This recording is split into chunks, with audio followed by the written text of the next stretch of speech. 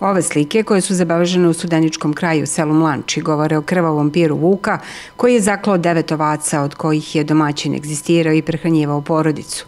Često se krivica prenosi i na lovce, ali oni se strogo pridržavaju pravilnika o merama za sprečavanje štete od divljači i na divljači postupka i načina utvrđivanja štete, kažu u lovačkom udruženju. Događa se znači da nebrigom vlasnika stada, uglavnom, dođe do problema, nastane naravno problem, jer definitivno vuk je takva životinja i inače ima potrebe za hranom u ovim sušnim, sušnom periodu i dosta više nego, nego inače. I ako vlasnici, odnosno imalci stada ne preduzmu mere koje su predviđene pravilnikom koji je proizašao iz zakona o divljači i lovstvu, neminovno dođe do tako nemilih događaja.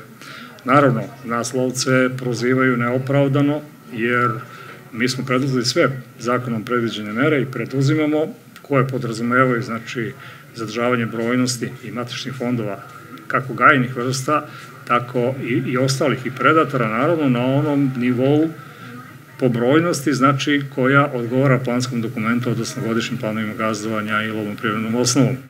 Kada se dogodi situacija kao ova u studeničkom kraju, zna se tačna procedura.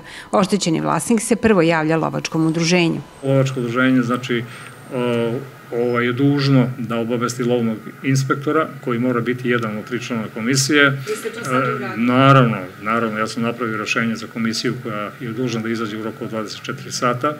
A veterinar koji je dužan da saopšti e, po načinu klanja on definiše da li su to vukovi, da li su psi lutalice, da li su šakali, jer e, svaki, što kažu, kolje na, na, na drugačiji način, veterinari izdaju jednu takvu potvrdu, lovni inspektor sa još dva člana komisije, znači e, definiše da li je obor, tor, štala ili šta već, gde su ovce bile ovaj, dovoljno kvalitetno odrađen da obezbedi da vuk ne može ući da napravi štetu, ali se najčešće dešava da su ovce nezaštićene na otvoreno.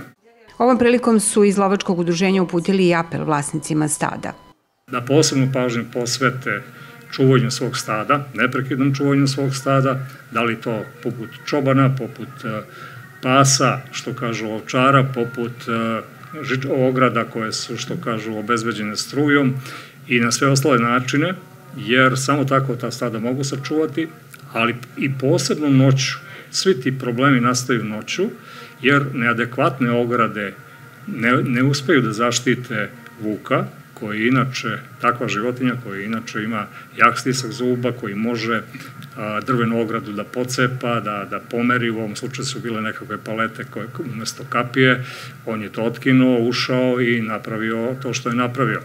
Kažem, lovačko udruženje će i dalje sigurno preduzimati sve mere, jer to je naša zakonska obaveza, nad našim obavezama se vrši neprestani kontrola i nadzor od strane ministarstva, tako još jednom ponavljam, sigurno smo preduzeli i preduzimat ćemo sve adekvatne mere, ali u osnovi svega je da imaoci stada zaštite svoje stada na adekvatan način, da vuk ne bi mogao da dođe i da napravi, napravi štetu.